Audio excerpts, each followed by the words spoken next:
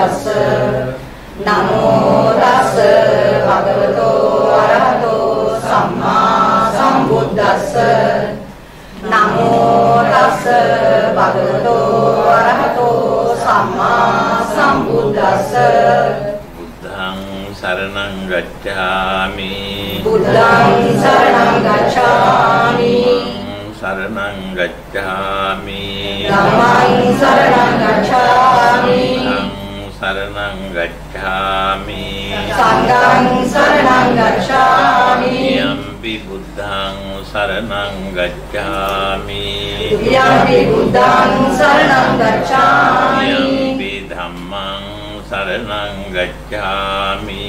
යම්පි ධම්මං සරණං ගච්ඡාමි. යම්පි සංඝං සරණං ගච්ඡාමි යම්පි සංඝං සරණං ගච්ඡාමි යම්පි බුද්ධං සරණං ගච්ඡාමි යම්පි බුද්ධං සරණං ගච්ඡාමි යම්පි ධම්මං සරණං ගච්ඡාමි යම්පි ධම්මං සරණං ගච්ඡාමි යම්පි සංඝං සරණං ගච්ඡාමි තතියම්පි සංඝං සරණං ගච්ඡාමි සරණාගමනං සම්පුන්නං අහං වන්දේ පාණාති පාතා වේරමණී සික්ඛාපදං සමාදියාමි පාණාතිපාතා වේරමණී සික්ඛාපදං සමාදියාමි අදින්නා දානා වේරමණී සික්ඛාපදං සමාදියාමි. අදින්නාදානා වේරමණී සික්ඛාපදං සමාදියාමි. කාමේසු මිච්ඡාචාරා වේරමණී සික්ඛාපදං සමාදියාමි. කාමේසු මිච්ඡාචාරා වේරමණී සික්ඛාපදං සමාදියාමි සික්ඛාපදං සමාදියාමි. සාවාදා වේරමණී සික්ඛාපදං සමාදියාමි. මජ්ජපමා දට්ඨානා වේරමණී සික්ඛාපදං සමාදියාමි සුරාමේරේ මජ්ජපමාදත්තානා වේරමණී සික්ඛාපදං සමාදියාමි. විසරණේන සද්දි පංචශීලං ධම්මං අප්පමාදේන සම්පාදී තබ්බං. අහං වන්දේ.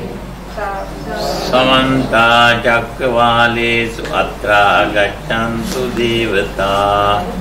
සද්ධම්මං මුනි රාජස් සුනන්තු සග්ග මොක්ඛදං ධම්මස්සවන කාලෝ අයං බදන්තා. ධම්මස්සවන කාලෝ අයං බදන්තා. ධම්මස්සවන කාලෝ අයං බදන්තා. නමෝ තස්ස භගවතු අරහතෝ සම්මා සම්බුද්දස්ස. නමෝ තස්ස භගවතු සම්මා සම්බුද්දස්ස. නමෝ තස්ස භගවතු අරහතෝ සම්මා සම්බුද්දස්ස අභිඤ්ඤේයං අභිඤ්ඤාතං භාවේ තබ්බංච භාවිතං පහතබ්බං පහීනම් මේ තස්මා බුද්ධෝස්මි බ්‍රාහ්මනති සාදු සාදු සාදු වාසනාවන්ත පින්නතුනි මෑණියනි අද මේ පින්කම දෙමස් පූර්ණ පින්කම හැටියට කල්පනා කරලා ඒ දෙමස් පූර්ණ පින්කමට දායක වන ආර්යවතී මහ වැන්නකෝන් මහත්මියගේ පුණ්‍යානුමෝදනා පින්කම වුවත් ඊට ඈඳිච්ච තවත් මිය පරලොව ගිය පින්වත් හැමදෙනාම අනුස්මරණය කරලා දරුවෝ හැටියට කරනු ලබන පින්කමක්. නම් වශයෙන් සඳහන් වෙනකොට ඒ ආර්යවතී වැන්ඩකෝඩ් ආදරණීය මෑණියන් වහන්සේ ඒ වගේම වැන්ඩකෝන් ආදරණීය පියාණන් වහන්සේ ඒ වගේම එම් විනී පෙරේරා මේ දරුවන්ගේ පියාණන් වහන්සේ ගයානි නෝනගේ නේද? කුරුණු මහත්මයාගේ ඊළඟට සුරංගනී නානායක්කාර සරත් නානායක්කාර ඒ දෙපළ ඒ වගේම අපේ නීලංගනී නෝන මහත්මියගේ පුදනුවම් භාතිය නිර්මාල් සමරවීර පුතා ඒ වගේම සජීවනී මහත්මියගේ ආදරණීය ස්වාමි පුරුෂයා සංජය අපුආරච්චි මහත්මයා. ඒ වගේම බාප්පා කෙනෙක් ජස්ටින් සුගසිංහ මේ කියන අය සිහි කරගෙන සිදු කරනු ලබන පින්කමක් අපේ ගාමිණී වැන්ඩකෝන් මහත්මයා මට කතා කළා දුරකථනයේ. අද ඒ පන්සලෙත් පස් නමකක දානමය පින්කමක් කියලා. ඒත් අම්මා වෙනුවෙන්. ඉතින් ඒ විදිහට ඉන්න ඉන්න තැන්වල මේ කටයුතු සිද්ධ කරනවා. ඉතින් මේ වෙලාවේ මම හිතනවා විශේෂයක් ඒ සරත් මහත්මයාත් ඇවිල්ලා ඉන්නවා. අමරවීර මහත්මයා. ඉතින් මිය පරලොව ගිය අය ගැන හිතනකොට අපි මේ වගේ පින්කම් කළ යුතුය කියන පදනමේ පිළිටන්නට හේතු සාධක මතුවෙනවා. දැන් වයස් මට්ටම් වල පරතර තියෙනවා. ඒ වයස් මට්ටම් ගත්තාම තරාතිරමක් නැති බව පැහැදිලි වෙනවා. ඒ නිසා කවර හෝ අවස්ථාවක මේ ගමන අපි යා යුතුයි කියන ආකල්ප ගොඩ නැගෙනවා. එතකොට අපිට කුසල් සිත් පහල කරගන්න පහසුවක් වෙනවා. ඒ නිසා මේ මිය පරලොව ගිය සියලු දෙනාම අනුස්මරණය කරගෙන ප්‍යාරියවති වැන්ඩකෝන් මාතාවගේ ත්‍රිමාසික මහා පින්කම හැටියට අද මේ පින්කම සම්පූර්ණ කරනවා.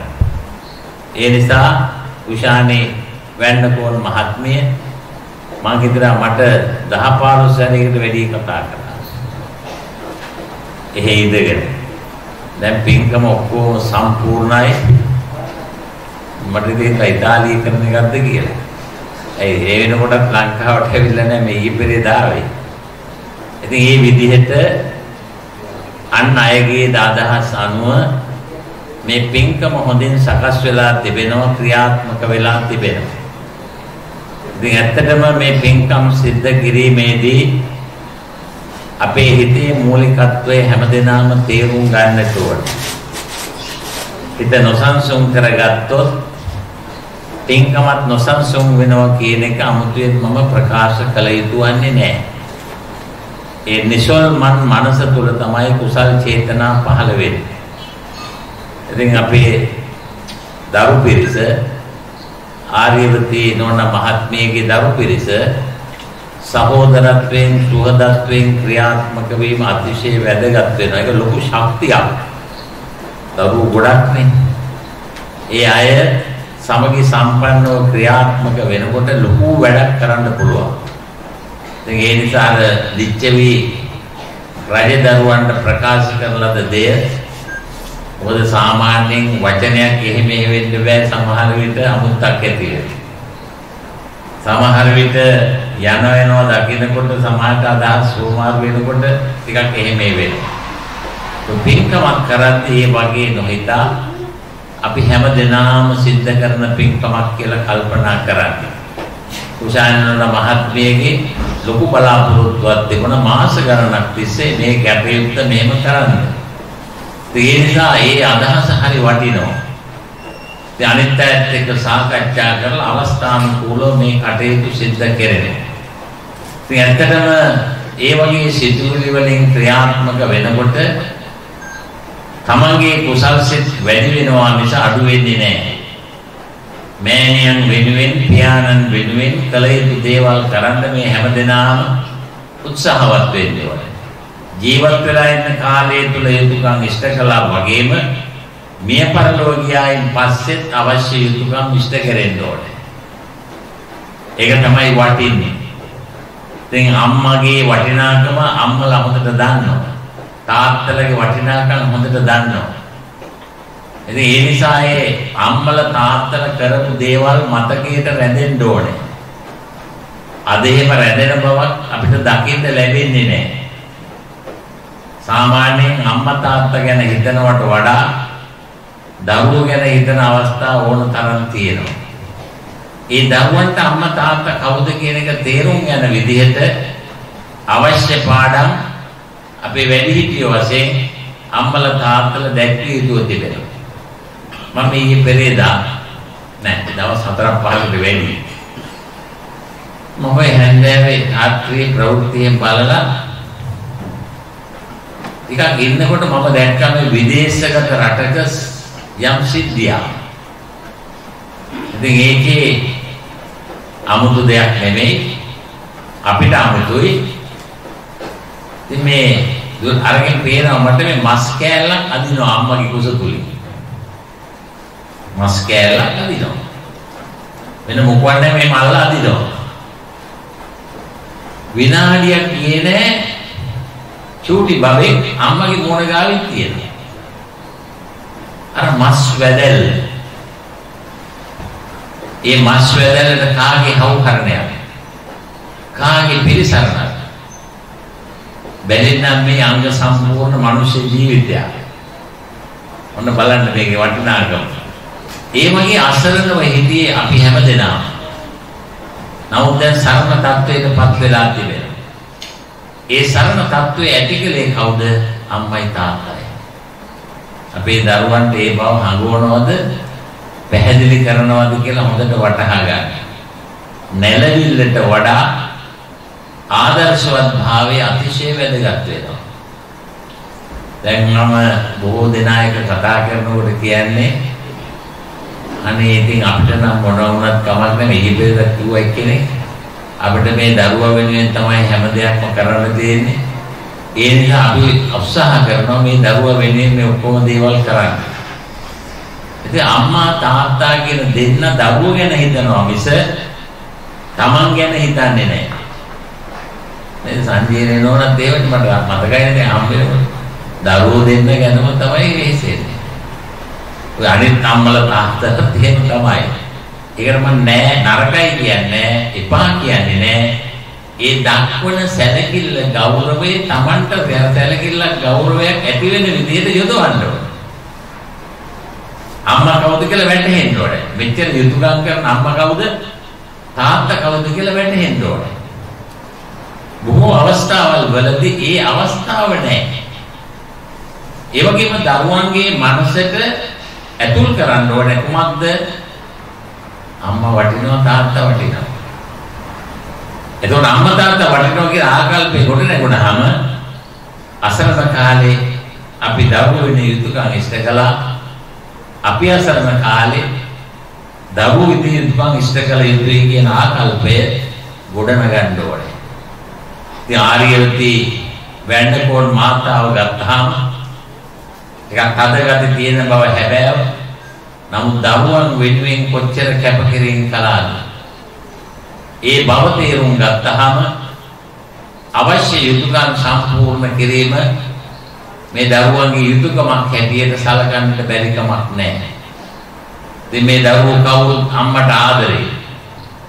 ඒ අම්මගේ නායකත්වයෙන් පිළිගත් දරුවෝ අම්මගේ වචනේ අභිභවාගිය දරුවෝ නෙමෙයි.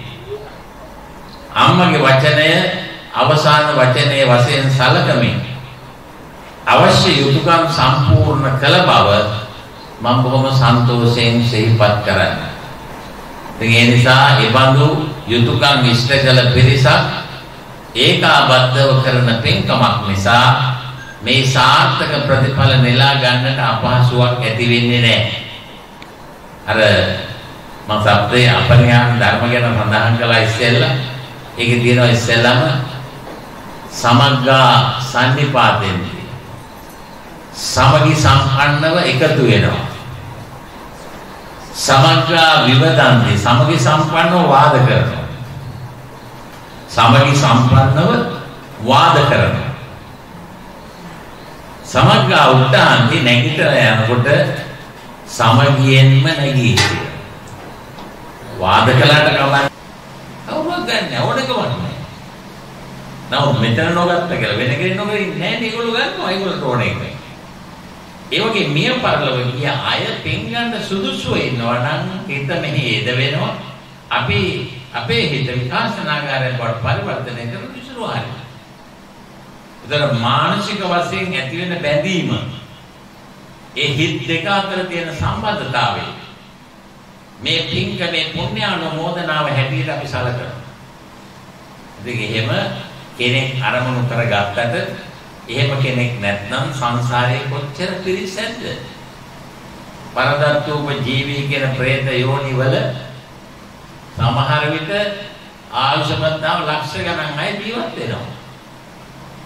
ඉතින් සමහරට හිතෙනවා പ്രേත යෝනියක් කියව මේ කොහෙද පෙරේතයෝ ඉන්නේ කියලා. ඉතින් පෙරේත ආත්ම කියන එක බොහොම සියුම්. ඒක සාමාන්‍යයෙන් අර එක්තරා අවස්ථාවක බුදුරජාණන් වහන්සේ වැඩ සිටි කාලේ මුගලන් හාමුදුරුවෝ මට මතකයි සංගීත හාමුදුරුවෝද දකින්නකොට හිනහා ගිහිල්ලා. ඔයගේ මේ ඔය මොකද්ද පර්වතයෙන් පල්ලෙහාට බහිනකොට මතක් ඒ පර්වතේ අර හාමුදුරුවෝ දිහා බලලා හිනහා වෙලා. එහෙනම් මොකද හිනහා වෙලා? හිනහා වෙන්නේ. බුදුහාමුදුරුවෝ ඉදිරියට අහන්න බැලින්නම් අර හාමුදුරුවෝ ඉස්සර කරපු පාප කර්මයක ප්‍රතිඵල හැටියට මහා දිගට කුණු වෙච්ච ඒ වලිගයක් ඇතුව ඒ ඒ ළඟින් ක්‍රියාත්මක වෙනවා. ඒතොර ඒ කාලේ වෙච්ච දේවල් බුදුහාමුදුරුවෝ දේශනා කළා. ඒ නිසා ලක්ෂ වාර ගණන් අපේ ජීවිත සංසාරේ සැරිසරන්නට පුළුවන්. දැන් සාමාන්‍යයෙන් තිරෝගුඩ සූත්‍රය ගැන සඳහන් කළාම ඒකේ තියෙනවා මේ මිය ගිහිල්ලා පින් ගන්න සුදුසු අය ගැන එහෙම සඳහන් වෙනවා. ඉතින් ඒවා ගැන අපි තේරෙන ద్వාර සංඝාටකයේසු මේ දොර අගුල්වලක් තියෙනවා. පෙරේ. ඒ තරම් සියුම්. දැන් ඔය අපිට දන්න කොමි විශේෂ තියෙන කොහොම සියුම් නේ අපිට පේන්නේ නැහැ. කොහොම බැලුවත් පේන්නේ නැහැ. කොහොම සියුම් සරේ ඊටත් වඩා සියුම්. ප්‍රේතාත්මතිය. ඒවා ඕලාරිකව බලන්න පුළුවන් අය කලාතුරකින් ඇති වෙන්නේ බුදුහාරට බැලිය හැකියි. රහතන් වහන්සේලාට බැලිය හැකියි. නැත්නම් උගලකරු විනා වෙන්නේ නැහැ නේද බලන්න. ඒ නිසා අපේ ජීවිත පිළිබඳව ටිකක් කල්පනා කරලා බලන්න ඕනේ. ඉතින් අම්මයි තාත්තයි කියන දෙන්න එහෙම කල්පනා කළා. ඒ නිසා ජාතික වශයෙන් මෙහෙවරක් ඉටු කළා. ඉතින් ඒ බඳු අය අනුස්මරණය කිරීම හොඳයි. දැන් මේකේ නම් වශයෙන් කිව්ව බලන්නකො ආයුෂ ප්‍රමාණය අඩු නැති කියලා සුරංගනී නානායක්කාර මහත්මිය. ආ ලොකු වයසක් නැහැනේ. මිල මුදල් වල එහෙම ඉගියක් තිබුණේ නැහැනේ. සරත් නානායක්කාර අඩු ආයුෂෙන් මිය පරලෝකීය අය. ඒ වගේ ජීවිත බලපුවාම අපිට මේ සංසාරය ගැන යම් හැඟීමක් කරන ලබන කුසල අකුසල කර්ම වල ස්වභාවයක් තේරුම් ගන්න බැයිද? දැන් මේ සසරගත ජීවිත බලපුවාම බොහොම අසරණයි.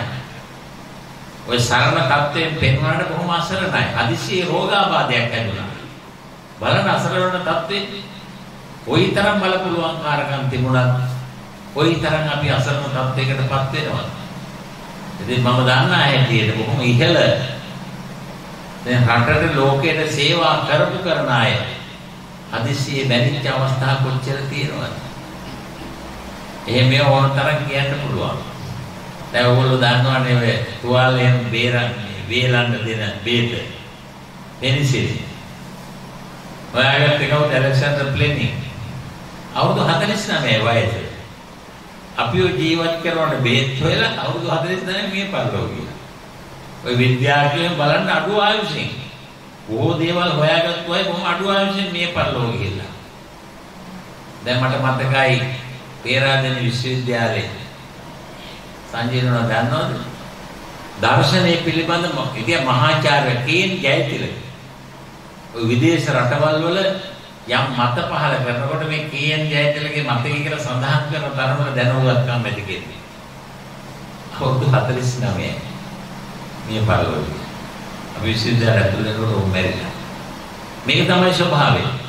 ඒ නිසා මේ දැනුගත්කම් කියලා පිළිබඳවත් තමන්ගේ තරහතරම් පිළිබඳවත් ඒව තමන්ගේ પરම්පරාව ගැනවත් හිතලා අපේ ආශ පිහිටු කරන්න බෑ. දැන් අම්මා 80 ගානක් නේ විද්‍යයි කියලා කියනවා. ඉතින් අපි කවුරුත් දරුවෝ හිතුවොත් අපිත් 80 ගානක්වත් ඉන්නවා කියලා. ඒක බොරුවක් නේ. එහෙම වෙන්න බෑ. තමයි 80 ගාන නෙවෙයි 100 ගණන් ඉන්න පුළුවන්. අර වැඩි හිටි දිනේ කියලා වගේ කිව්වා දැන් අවුරුදු 109යි. කාන්තාව හතර දෙනෙක්. 106යි පිරිමි කෙනෙක්. ඔය ඉන්නේ. අර 109 අම්මා හොඳට ඉඳගෙන හිටියේ. ඒ වගේ අවස්ථා තියෙන අපි කරන ලද කුසල අකුසල කර්ම වල විපාක අපි භුක්ති විඳිනවා. ඒ නිසා සංසාරගත ජීවිතයේදී මේ නිරෝගීව වැඩි කාලයක් ජීවත් වෙන්න පුළුවන් එක වටිනවා. කොච්චර සේවා කරන්න පුළුවන්ද? ඒ නිසා තමන්ගේ ප්‍රමාණයේ හැටියට යුතුයකම් ඉෂ්ට කරන්න කල්පනා කරන්නට ඕනේ. ඉතින් මම නිකන් පොඩි අවවාදයක් අනුශාසනාවක් කළේ. බණ පැය ගණන් කිව්වත්, නිකන් පැය හතරක් පහක් කිව්වත් තේරුමක් නැහැ. ඒක හොඳට වටහා ගැනීමේ හැකියාව නැත්නම් නොසන්සුන් මනසක් ඇති වෙනවා නම් කියන දේ සුළුවෙන් දැන් මෛත්‍රී භාවනාව කියන එක ක්ෂණයක් මෙනෙහි කරන්න පුළුවන් නම් වඩන්න පුළුවන් නම් අපි සඳහන් කරන මහා සංඝසතු දානමේ පින්කමකින් ලැබෙන ආනිසංස වලට වැඩි. අපි දන් දුන්නා වැඩියෙන් ආනිසංස ලැබෙනවා කියන්නේ නෑ. අර භාවනාවේ මොහොතක් භාවනා වඩලා පැය ගණන් නෙමෙයි. ඉතින් සාමාන්‍යයෙන් මොහොතක් හරි මෛත්‍රිය වඩන්න කොයිතරම් මනස දියුණු වෙන්න ඕනද? අපි නිකන් නමට නෙමෙයි මෛත්‍රී භාවනාව වඩන්නට හිත දියුණු කරගන්න ඕනේ. මම ඉතින් රහතන් වහන්සේලා தත්වෙටපත් වෙන්න ඕනේ. අරගේ තියෙන්නේ සතුරු මිතුරු මධ්‍යස්ත සියලු දෙනාටම මෙත් වැඩිල්ලන්නේ කරන්න ඕනේ. නේද? කොච්චරයි ඉන්න දිත්තාවා. මේ සාමාන්‍ය කීකයි දිග සතුන්, කොටි සතුන් ඔය කියන්නේ. ඒ වගේ විශාල පිරිසක් විශේෂයි මෙත් වඩන්නට ඒ පිළිබඳ දැනුමක් තියෙන්නත් ඕනේ. ඒ වගේම හොඳ මනසක් තියෙන්නත් ඕනේ. නිර්වෘ. එතකොට තමයි මේ වගේ ආනිසංස ලබන්නට පුළුවන්කම තියෙන්නේ. මේ නිසා ආර්යවතී වැන්නකෝන් මාතාව නිරන්තරයෙන්ම දරුවන්ගේ ආදරේ කරුණාව සෙනෙහස ලැබමින් තමන් පවත්වපු ආධිපත්‍යය ඒ ආකාරයෙන්ම පවත්වාගෙන යමින් ක්‍රියාත්මක වුණා කියන එක සන්තෝෂයෙන් ප්‍රකාශ කරනකොට මේ දරුවන්ට සැනසෙල්ලක් ලබන්න පුළුවන්. ඉතින් ඒ නිසා ඔබ හැම දිනාටම රත්නත්‍රේ පිහිට දෙවි රැකවරණ ප්‍රාර්ථනා කරමින් මම මාතුරුක කළ ගාථා බොහොම සුළු වේලාවක් තුල ප්‍රකාශ කරන්න කැමතියි. ඇත්තටම ලෝතර බුදුරජාණන් වහන්සේ පිළිබඳව පැහැදිලිව දැක්වෙන ගාථාවක්. බුදුරජාණන් වහන්සේ කල එක්තරා බමුණෙක් හිටියා. ඒ බමුණා බුදුරජාණන් වහන්සේ සමග සාකච්ඡාවක ප්‍රතිඵලයක් ඇටියට තමයි මේ ගාථාව ඒ සූත්‍රයේ අන්තර්ගත වෙලා තිබෙන්නේ. ඉතින් ඒ විදිහට යනකොට කේනිය කියලා ඉතින් තව කෙනෙක් හිටියා. ජටිලේ ගිනි දෙවියෝ පුදන ශරීරයට දුක් දෙන වත් පිළිවෙත් සම්පූර්ණ කරන කේනිය. ඒ කේනිය බුදුරජාණන් වහන්සේ සමග සාකච්ඡාවක් කළා. හැබැයි කේනිය ටිකක් ජටිලේ වුණාට බොහොම බුද්ධිමත් කෙනෙක්. බුදුහාමුදුරුවෝ රහතන් වහන්සේලා පෙළගස්සගෙන යනවා. මේ කේනිය කල්පනා කරන මේ දහස් ගාණක් එක දිගට හරි විදිහට යනවා. අපිට මේ අපේ වපසරිය තුල ඉන්න මේ 10 15 දෙනාව හික්මවා ගන්න බෑ. මේ විදිහට සංසුන් කරගන්න බෑ. ඉතින් මේ වගේ දහස් ගාණක් එක විදිහට හික්මවාගෙන යන කෙනා කොයිතරම් ශ්‍රේෂ්ඨෙක් වෙන්න ඕනද? කොයිතරම් දක්ෂෙක් වෙන්න ඕනද කියලා තර්ක කරනවා. එහෙම හිතලා පහවද එදාම ගිහලා බුදුරජාණන් වහන්සේට සාකච්ඡා කළා. පැහැදුණා. පැහැදිලා එන දානෙට ආරාධනා කළා. පිළිගත්තේ නැහැ පළවෙනි වතාව, දෙවෙනි වතාවත් සඳහන් කළා ආරාධනා කළා බත්ගත්තේ නැහැ. තුන්වෙනි අවස්ථාව ආරාධනා කළාම බුදුහාමුදුරුවෝ කේනියට කියනවා කේනිය මම විතරක් නෙමෙයි මෙතන ඉන්නේ තව 1200ක් ඉන්නවා. ඔබ මේ හැන්දෑවේ ගිහලා කොහමද මෙච්චර විශාල පිරිසකට දාන්නේ දෙන්නේ? අපි පිටිසිගා වඩිනවා. එතකොට කේනිය කොයිතරම් බුද්ධිමත්ද කියලා හිතන්න. කේනිය කියන ස්වාමීනි දානෙ දෙන්නේ මම. දානෙ දෙන්න පුළුවන් ද බැයිද කියලා තීන්දුව ගන්නෙ මම. ඔබ වහන්සේට තියෙන්නේ දානට එනවද නැද්ද කියලා තීන්දුව ගන්න. ආමුදුහාමුදුරෝ තේරුම් ගත්තා. මේ ජටිලයාගේ අදහස. එයම පිළිගත්තා. මෙයා කියලා වුණ දැන් සරසනවා හොඳට කට්ටියත් එක්ක පිළියෙල කරනවා ආසන පනවනවා පිරිසිදු කරනවා මේ ඔක්කොම. ඔන්න එනවා එතනින් බමුණෙක්. ඉතින් බමුණා 300ක් එක එකට එන්නේ. ඉතින් ඒ බමුණා දැක්ක මේ කේනියගේ ආරාම අසපුව කියලා කියන්නේ අසපුව දැක්කා. ඉතින් අසපුවේ ජටිල වෙහිටපු තැන. ඊළඟට මේ කෙනා මට නම මතක් වෙයි මට නම් වෙන්නේ හැටි මැට වෙනවා. එතකොට මේ බමුණා 300ව පාරේ තියලා ගිහිල්ලා කේනියෙන් අහනවා කේනිය මෙහි මංගල්‍ය ආවාහයක් විවාහයක්වත් වෙනවද? ඇයි මේ කැලේ මේ වගේ අලංකාර පරිසරයක් දකින්න නැන්නේ? ඊට පස්සේ කියනවා මෙයා කියනවා උඹ දන්නවනේ එහෙම එකක් මෙතන වෙන්න බැරි බව. ඊළඟට අහනවා එහෙමනම් මහරජාවත් වෙනවා. ඒකත් ඔබ දන්නවද? මහරජා මේ වගේ පොඩි තැන් වල දෙන්නේ නැන්නේ. හැබැයි අහන් අතර ඉන්නවා බුදුහාමුදුරු කියලා කෙනෙක්. එයාගේ ගෝලියුත් ඉන්නවා රහතන් වහන්සේලා කියලා කියනවා 1200ක්. ඒ අයට දානෙට වඩිනවා. ඒකටයි මේ සූදානම්. මෙයාට හිතුණා එහෙනම් බුදුහාමුදුරුත් එක්ක සාකච්ඡා කරන්න ඕනේ කියලා. ඉතින් බුදුරජාණන් වහන්සේ සමග සාකච්ඡාවට මෙයා නීති දාගෙන ගෝලෙට ගියා. ගෝලෙන් කියනවා බමුණන්ගේ සමාජ චාරිත්‍ර හොඳට වැටහෙනවා. ඇවිල්ලා ගෝලියෝ 300ට කියනවා උඹලා කතා බහ කරන්න බෑ. එතෙන්ට ගියා මම විතරයි කතා කරන්නේ. ගෝලෙන් කියන්න ඕනේ එක නෙවෙයි නේක. ගුරුනාන්සේ ඉඳද්දි ගෝලයන්ට බෑනේ කතා කරන්න. නමුත් බමුණු සමාජය තුල තිබුණා වගේ වැරදි. ඒ වගේ උගේ අඩිහප්පම්ප යන්නත් එපා. ඔන්න ඒගොල්ලන්ගේ චාරිත්‍රාත් තේරුණා. කලබලකාරී වටපිටාවක් තුල කලබල පරිසරයක් තුල ගමන් කරන්නේ. එදා බුදුහාමුදුරුවෝ කියන කෙනා බොහොම නිශ්ශබ්ද ජීවිතේ කැමති. එදා අඩිහප්පම්ප යන්න එපා. කොහොම ගිහිල්ලා බුදුරජාණන් වහන්සේ දිහා බලන් ඉන්නවා. බලන් ඉන්නකොට බුදුරජාණන් වහන්සේට වැටහෙනවා මේ බමුණා. ඇවිල්ලා තියෙන්නේ මේ දෙතිස් මහා පුරුෂ ලක්ෂණ බලන්න. මතු පිටේ ඔක්කොම බලනකොට අදිෂ්ඨාන කළා මොකට පමණක් පෙනේවා කියලා. එතකොට මේ මිනිස්සයා පුදුම විදියට වෙනස් වුණා. මෙයා අපූර්ව පුදුමයටපත් වුණා. ඒ මේ දෙතිස් මහා පුරුෂ ලක්ෂණ තියෙන එක්ක මහ රජ කෙනෙක් වෙන්න ඕනේ. එහෙම නැත්නම් බුදු කෙනෙක් වෙන්න ඕනේ. එහෙම කියලා හිතලා බුදුරජාණන් වහන්සේ සමග සාකච්ඡා කළා. ඒ වෙලාවේදී බුදුරජාණන් වහන්සේ කියනවා මමත් එක්තරා අංශයක රජෙක්. එක්තරා අංශයක රජෙක්. ධර්ම රාජ්‍යයේ රජා මම. ධර්ම රාජ්‍යය පාලනය කරන ධර්ම චක්‍රයෙන්. මෙයාගේ හිත හරියේ නැහැ. මොකද එයා බලාපොරොත්තු වෙන්නේ සිව්වනම් පිරිස අපේ බුදුහාරණිය වගේ එයා හිතන ඇත් අස්රත පාබල කියන මේ සිව් සේනාවලින් සමන්විත මහා මන්දිරවල ජීවත් වෙන කෙනෙක් තමයි රජුරෝ කියන්නේ.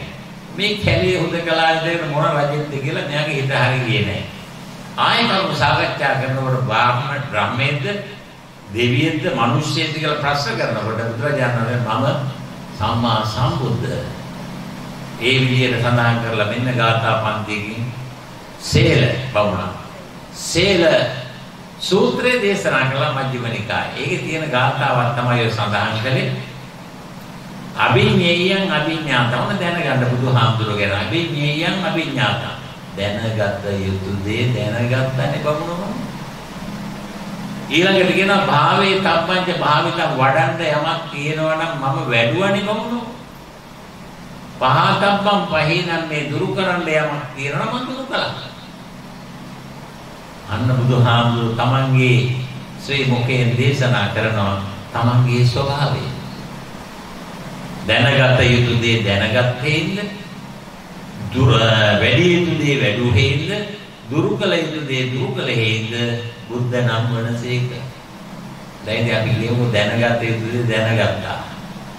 ඔය සමහර අය ඉන්නේ මොනවද බං උඹලා බුදුහාමුදුරුවෝ දැනගත්තේ කියලා ඇහුවොත් අපිට උත්තර දෙන්න පුළුවන්කම තියෙන්න ඕනේ. බොහොම කෙටියෙන් මම ඒ අදහස් ඉදිරිපත් කරනවා.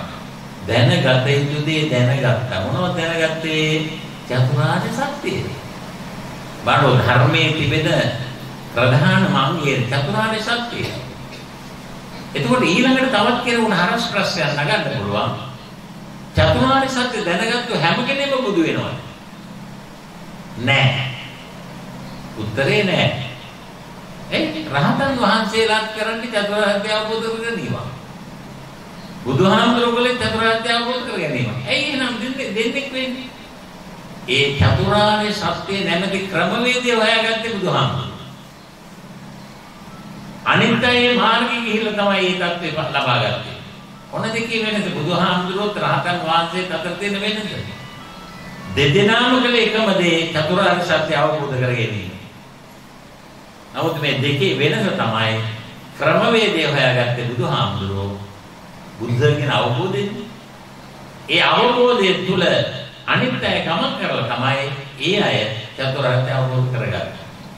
එතකොට ඔන්න පැහැදිලි දැනගත් යුද්ධ දැනගත්තා මොනවද දැනගත්තේ චතුරාර්ය සත්‍ය දුක්ඛ සමුදය නිරෝධ මාර්ග කොහොමද දැනගත්තේ කියලා අපි කිව්වට මේ පැහැදිලි ඊළඟ අවස්ථාව තමයි අනිත් අය අනිත් අය දැන් චතුරාර්ය අවබෝධ කරගත්තු අනිත් අය බුද්ධව කියන වචනයට අහු වෙන්නේ නැද්ද කියලා නෑ ඇයි ඒ ක්‍රමවේදය හොයාගත්තේ බුදුහාමුදුරුවෝ අනිත් අය ඒ ක්‍රමවේදයේ පස්සේ ගිහිල්ලා ඉතින් ඒ අවබෝධය ලබාගත්තු අය ඔන්න කාරණා තුන ඔන්න ඊළඟ එක දැනගත්තා කියන එක. ඊළඟට වැඩි යුතු දේ වැඩුවා. ඒකත් අහන්න පුළුවන් ප්‍රශ්නයක්. මොනවද වැඩි යුතු? ආරස්ථායක මාර්ගය. බලන්න මේ ධර්මයේ තියෙන සයල්ල මේක අන්තර්ගතයි නේ පොඩි ගාතාව තුළ. වැඩි යුතු දේ වැඩුවා. මොනවද වැඩි යුතු? ආරස්ථායක මාර්ගය. කොහොමද වැඩි යුතු? සීල සමාධි ප්‍රඥාව. ඔය විසුද්ධි මාර්ගයෙන් ලියවිලා තියෙන්නේ.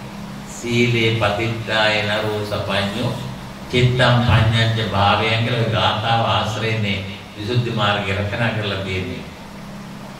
මොකද ඔයගොල්ලෝ දන්නවා ඒ කතාව. ඒතකොට සීලේ පිළිටන්න ඕනේ. එතකොට සමාධිය සමාධිය ඇති වෙනකොට ප්‍රඥාව.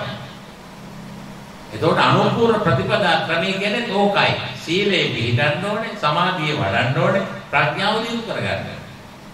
ත්‍රිශික්ෂා කියලා කියන්නේ ඒවා. අදි සීල, අදි චිත්ත, අදි පඤ්ඤා කියවත් හරි. එතකොට බුදුරජාණන් වහන්සේ දේශනා කරන සීලට සීල වැඩි යුතු යමක් තියනවා වැඩුවා. මම වැඩි මොනවද? ආරෂ්ඨාංග මාර්ගය. කොහොමද වැඩිවේ? සීල, සමාධි, ප්‍රඥාව. වැඩි පිළවයි. එනිසා සීලෙන් තොර සමාධියක් නැහැ. සමාධියෙන් තොර ප්‍රඥාවකුත් නැහැ. ඒක හොඳට අපි තේරුම් ගත යුතු තිබෙනවා. ඊළඟ අවස්ථාව තමයි පහතබ්බම් පහිනම්මි. දුරු කළ යුතු යමක් තියෙනවා නම් දුරු කළා. ඒ අපි ගාව තියෙන ප්‍රධානම අකුසල මූලයන් මොනවද? ලෝභය, ද්වේෂය, මෝහය. මේක නැති කළා නම් මේ මුල් සිඳුවනම් අනිවාර්යයෙන්ම නිවන් දකින්න පුළුවන්. ලෝභය නැති කරන්න දාන්නේ. මේක හොඳට තේරුම් ගන්න. ද්වේෂය තරහ නැති කරන්න සීලය. මෝඩකම නොදැනුවත්කම නැති කරන්න භාවනාව. සීල සමා සීල දාන සීල භාවනා කියන මේ තුنين කරන ප්‍රතිපාලන කරන කටයුතු තුනයි. ලෝභය නැති කරනවා දානෙන්, ද්වේෂය නැති කරනවා සීලෙන්, මෝඩකම නැති කරනවා භාවනාවෙන්. නැත්නම් එකක් කියන්න බැරිද? ඒ කායම මග්ගෝ කියලා ඒක කියනවා. ඒ කායම මග්ගෝ කියන ඒ தത്വෙට එන්න මේ தത്വය ඇති කරගන්න ඕනේ. නේද? බුදුහාට දෙක පාඩම් පුළුවන් ඉතින් යන්න. සුවෙන් තාපසයන් කාලේ. සාරා සංගේ කල්පලක්ෂයෙන් කොච්චර කාලයක්ද? මෙච්චර කාලයක් ආපුවාම ඒ ආපු කාලෙත් ඇවිල්ලා ඉතින් යසෝදරාවත් එක්ක සම්බන්ධ වෙලා ඊට පස්සේ දරුවෙකුත් හම්බුනා පස්සේ යන්නේ. ඔය දුෂ්කර ක්‍රියා කිරීමත් මම හිතුවා එක්තරා පාප කර්මයක්. ඒ කාලේ හැටියට බෝධිසත්වයන් වහන්සේ කරපු කටයුත්තක ආදීනවයක් ප්‍රතිඵලයක්. ඉතින් ඒ නිසා දුෂ්කර ක්‍රියා කරලා අවුරුදු 35 දී තමයි සම්මා සම්බුද්ධත්වයට පත් වුනේ. ඉතින් මේවා ගැන ඔබට වැටහෙන්න ඕනේ මේ පොට්ටෙන් පොට්ටෙන් හරි ටිකෙන් ටික හරි මේ හැම දෙයක්ම සම්පූර්ණ කරන්න ඕනේ. ඉතින් මේ වගේ දේවල් කරනකොට දානයේද, සීලයේද, භාවනාවද මේ ඔක්කොම සම්පූර්ණ වෙනවානේ. බාහිර අරමුණු ගන්නේ නැතුව ධර්ම අරමුණේ ජීවත් වීම භාවනාවක්. මේක හොඳට දැන් දානය, සීලය, භාවනාව. පංචශීල සමාදන් වුණා මේ වෙලාවේ අපි සීලවන්තයි. ඔය නිතරම සිල් ගන්නවා කිව්වහම නියම් අමුත්තක් වගේ. අපි උදෙත් ගත්ත, දවල්ුත් ගත්ත නෑ හැම තිස්සෙම ගන්නවා. දැන් රෑ නිින්දට යන්න ඉස්සෙල්ලා අපි සම්පන්සිල් සමාදන් වෙනවා කියන්නේ. ඒක පිරිසිදුයි. ඒතර පැය 12ක් දැන් පැය 6ක් 7ක් 8ක් අපි සීලවන්තයි. නිින්දේ අපි සීලවන්තයි. ඉතින් එන්න නිතර නිතර දැන් මේ බණ අහන්න වෙලාවේ අපි සිල්වත් වුණා. ඒ සිල්වත් ඉඳගෙන තමයි මේ භාවනාව ඇති කළේ. භාවනාව කියන්නේ කුසල් සිත් දියුණු කිරීම. අකුසල් සිත් ඇති වුණා නම් එතන භාවනාවක් නෙමෙයි. සිහියෙන් යුක්තව දහම් අරමුණු ගත්තාම එතන භාවනාවක් හැටියට තමයි සඳහන් වෙන්නේ. ඒ නිසා සීල, දාන, සීල, භාවනා කියන ඔක්කොම සම්පූර්ණ වෙනවා. ඒ ඔහොම ටික ටික ටික ටික සම්පූර්ණ කියලා තමයි අවසානයේදී නිවන් දකින්න පුළුවන්කම තියෙන්නේ. අපිට හදිස්සිය තිබුණාට අපිට කලබලයක් තිබුණාට එහෙම වෙන්න බෑ. දැන් මම කියන බොහෝ දෙනාට ගමුත්තකට නෙමෙයි. දැන් ඔය සෝවාන් කරවනවා සකු르දාගාමි කරවනවා අනාගාමි කරවනවා කියලා එහෙම කියනවා. අනිත් පැත්තේ ප්‍රශ්න නගන්න වෙනවා. අනේ සෝවාන් වුණාද කියලා. ඒ වෙන අයගෙන් අහන්න ඕනේ. එහෙම අහන්නේ නැහැනේ අපි අය. පස්සෙන් දුවනවට මුරුවට. එහෙම අවස්ථා තියෙනවනේ අනන්තවත්. ඒ ඔබ ලේසියෙන් පුළුවන් නම් කවුද මේ පැත්තට යන්නේ? කවුරුත් යනවනේ. ඉන්න මේ ටිකෙන් ටික අන්තයට යන්නේ නැතුව මේවා පුරුදු පුහුණු කරන්න ඕනේ. දානය, සීලය, නෙක්ඛම්, පඤ්ඤා, විරිය, කන්ති, සත්‍ය, අදිත්‍යාන, මෙත්තා, උපේක්ඛා කියන ගුණධර්ම ටිකෙන් ටික වඩන්න ඕනේ. එකපාරට වෙන්නේ පුදුන් අයට. දැන් වර්තමාන යුගයේ තමයි ඔක්කොම අතහරින්න කියලා කියනවනේ. නේද? හරිම මුලාවටපත් කරන දේශනා. සමහර මේව කරදරය ඔක්කොම අතහරින්න ඕනේ. ඉතින් එතකොට මේ සමාජ ජීවිතය නැහැ බුදුහාරන් කාලේ ඔක්කොම එහෙම අතහැරියද? නිවන් දකින්නකොට තමයි සියල්ල අතහැරෙන්නේ. එතකන් ජීවිත සෝවන් සකදාගෙන අනාගත හරි හරි. දැන් සුද්ධෝදන රජුරු අතහැරියද රාජ්‍යය? සෝවන් වුණා සකදාගෙන අනාගත වුණා. අන්තිම වෙනකම් රාජ්‍ය පාලනය කළා. විසාකාව ගිහිගෙන් අත්හැරලා ගියාද? අත්හැරලා කාලේ සෝවාන් වුණේ. නියම හැටියට විවාහ වෙලා දරුවා හරි හම්බ කරලා ඒ තමන් ඇලෙන්නේ නැතුව ගැටෙන්නේ නැතුව ජීවත් වුණා. දිනෙක මාර්ග ඵලවලටපත් වෙනවා කියන එක ගිහිගෙන් නික්මෙන අවස්ථාවක් නෙමෙයි. රහත් ඵලයටපත් වෙනකොට අනිවාර්යයෙන්ම ගිහිගෙන් නික්මෙනවා. එහෙම නැත්නම් දින හතක් තුළ තෙරණියක් පානවා කියන අදහස් තියෙනවා. ඊට වඩා අනුශාසනාව දීර්ඝ කරන්නේ බුදුහාමුදුරුවෝ ගැන හිතන්න බණපදේ බුදුහාමුදුරුවෝ කියලා කියන්නේ දැනගත යුතු දැනගත්තු කෙනා මොනවද දැනගත්තේ? චතුරාර්ය සත්‍යයේ බොරුවක් එහෙම නෙමෙයි. දුක දුක හට ගැනීමේ හේතුව දුක නැති කිරීම දුක නැති කිරීමේ මාර්ගය. ඊළඟට අන් අයගෙන් අන් රහතන් වහන්සේලා වෙනස් වෙන්නේ ඒ ක්‍රමවේදය නිවනට මඟ සොයාගත්තු නිසා අවබෝධ කරගත්තු නිසා. ඊළඟට වැඩි යුතු දේ වැඩුවා මොනවද වැඩි ආරස්කායක මාර්ගයේ? සම්මා දිට්ඨි සම්මා සංකප්ප සම්මා වාචා සම්මා කම්මන්ත සම්මා ආජීව සම්මා සති සම්මා වායාම කියලා තියෙන දෙකට ඒ විදිහට ගත්තාම ඒ ආරස්කායක මාර්ගයේ කොහොමද වැඩි කිව්වොත් අනුපිළිවෙලින් සීල සමාධි ප්‍රඥා වශයෙන් ඊළඟට දුරු කළ යුතු දේවල් සම්පූර්ණයෙන් දුරු කළා ලෝභය අකුසල මූලය, ද්වේෂය අකුසල මූලය, මෝහය අකුසල මූලය. ඒවා සම්පූර්ණයෙන් ප්‍රහාණය කළා. තස්මා බුද්ධෝස්මි බ්‍රාහ්මණ ඒ නිසානේ බමුණ මට බුද්ධ කියලා කියන්නේ. ඔන්න සේරට කියපු දේ. මේ දෙනා එච්චරයි අනුශාසනාව. අම්මා තාත්තා වඳුනගන්න, අම්මා තාත්තා වෙනුවෙන් කළ යුතු යුතුකම් සම්පූර්ණ කරන්න. අපි යන්නම් වාලේ යන්නේ නැතුව කරන්නම් වාලේ කරන්නේ නැතුව අපේ හිතට දැනෙන විදිහට නිකන් තෝරා බේරාගෙන යහපත අයහපත පිළිබඳව ක්‍රියාත්මක වෙන්නේ. ඒ කවුරුවත් කියන නිසා නෙමෙයි කවුරුවත් කරන නිසා නෙමෙයි. අපි සාමාන්‍යයෙන් බුද්ධිමත් පිරිසක් හැටියට මිනිස්සු කියන්නේ හොඳ නරක වෙන් කර ගැනීම හැකියාව තියෙන අය. ඒ නිසා මේවා ගැන හිතලා තෝරා බේරාගෙන ක්‍රියාත්මක වෙන්න බුදුරජාණන් වහන්සේ හඳුනාගෙන බුද්ධෝමේ සරණං වරන් මට බුදුහාමුදුරගේ සරණයි කියන විශ්වාසය තුල ක්‍රියාත්මක වෙන්න කවදාකවත් වරදින්නේ නැහැ. බුදුරජාණන් වහන්සේගේ ධර්ම මාර්ගයේ ගමන් කරන්න බුදුහාමුදුරුවෝ කෙරේ විශ්වාසය ඇති වුණාම තමයි අවස්ථාව සැලසෙන්නේ. ඊට පස්සේ තමයි මේ මඟ ගමන් කරන මහා සංඝරත්නය පිළිබඳ පැහැදීමක් ඇති වෙන්නේ.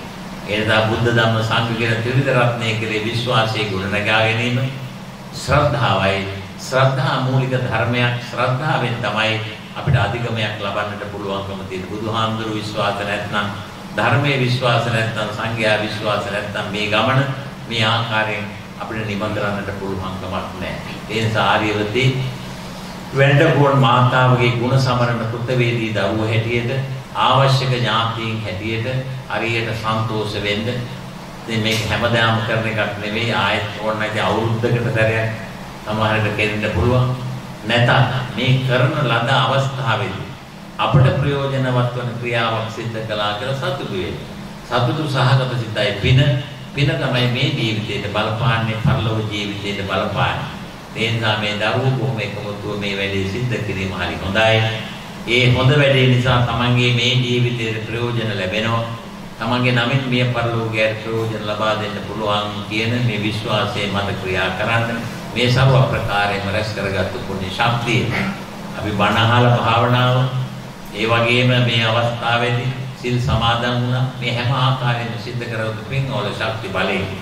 මේට තෙමසකට පෙර සදා සමුගත් අපේ ආදරණීය මෑණියන් වහන්සේටත් ඒ වගේම ඊට පෙර මිය පරලොව ගිය පියාණන් වහන්සේටත් ඒ වගේම අපිට සම්බන්ධ මෑතක මිය පරලොව ගිය ඒ බිනි පෙරේරා මහත්මයා ඒ වගේම තවත් මිය පරලොව ගිය සුරංගනී මහත්මිය ඒ වගේම සරත් මහත්මයා භාතිය නේද සමරවීර පුතණුවන් ආදී වශයෙන් ඒ මිය පරලොව ගිය සියලු දෙනාම අනුස්මරණය කරලා පින් දෙනවා ඒ හැම දෙනාම මේ පින් ලබාගෙන සුඛී සුවපත් භාවයටපත් වේවා. අවසන සෝමණේවරේ දැනසීම ලබත්වා කියලා ප්‍රාර්ථනා කරන්න. ඔබ හැම දිනාටම ලෙඩ දුක කරදරයක් නැතුව සැනසෙල්ල ජීවත් වෙන්න අවස්ථාව උදා වේවා. අපි හැම දිනාටම උතුම් මොණෙවනින් සැනසීම ලබන්නට මෙය පාරමී ධර්මයක් බවට පත් වේවා. වැදගත් අභිවාදන සීලිස නිච්ඡං වද්ධාපචායිකෝ චත්තාරෝ ධම්මා වඩ්ඩන්ති ආයුවන්නෝ සුඛං බලං. ආයුරාෝග්‍ය සම්පatti දග්ග සම්පatti මේවච අතෝ නිබ්බාන සම්පatti හිමිනාතේ සමිජ්ජතු ධර්ම ශ්‍රවණානි සංසේ කුබහැම දෙනාට උතුම් නිවන් සුව සාක්ෂාත් වේවා.